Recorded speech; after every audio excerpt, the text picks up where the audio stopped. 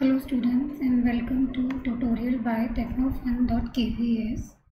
My name is Manpreet Kaur and in this tutorial I am going to show you how you can download and install a software called GIMP. A GIMP is multi-platform photo tool that allows you to edit photos and customizing colors. Uh, there are so many editing uh, softwares like uh, Photoshop, Microsoft Paint, drawing of OpenOffice.org. Uh, in this chapter, we are going to study GIMP, and GIMP is GNU uh, image manipulation program software. It is free and open source image editor software. It is used for image editing and manipulation uh, GIMP is a multi-platform photo ma manipulation tool. It supports uh, different OS operating systems uh, like Linux, Microsoft Windows, Apple Mac OS. And GIMP is a free software application. It is covered by General Public License. And this uh, GPL provides user with the freedom to access and alter the source code. So there are so many features of GIMP software like GIMP software. One of the most important feature is it is open and free. And the second one is it supports uh, support uh, different formats, uh, file formats uh, like GIF, uh, GPIG, JPEG. And uh, it works on different operating systems. And it is used for image manipulation and image editing uh, it G, uh, GIMP software um, supports uh, different tools for image editing.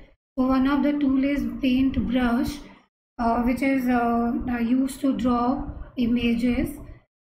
And GIMP is a memory efficient graphic tools. And uh, in GIMP, if we combine different images, so we can create animations.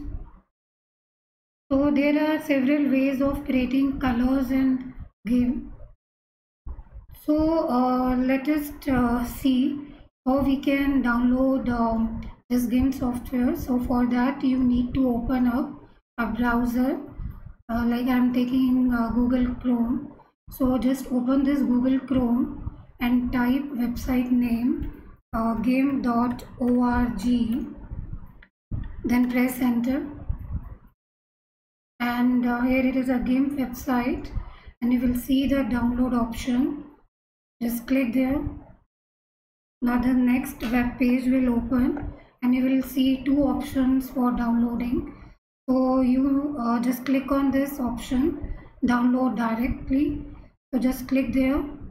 Uh, when you click on this option uh, one uh, file will going to download in your uh, computer uh, in your computer. So you have to wait a little bit it will going to install in your computer. So when installation is complete downloading is complete so then you click on that file. Uh, then there are so many options will come. Uh, then you click on ok yes and finally you will install your software. So it is already installed in my computer. So it's a very simple way you can install it. So options will come and you will uh, just click on uh, options and when you search this GIMP software now this window will open. So uh, this is uh, your GIMP software. These are the tools and these are the options of GIMP software. So uh, that's it for this tutorial. Hopefully you liked it and thanks for watching